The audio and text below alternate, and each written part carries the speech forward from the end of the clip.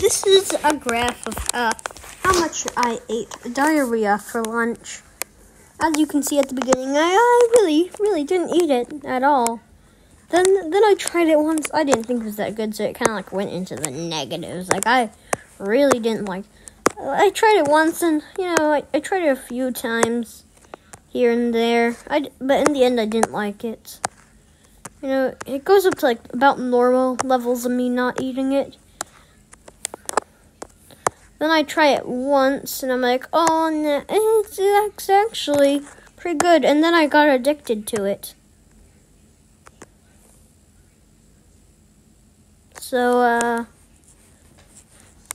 so yeah.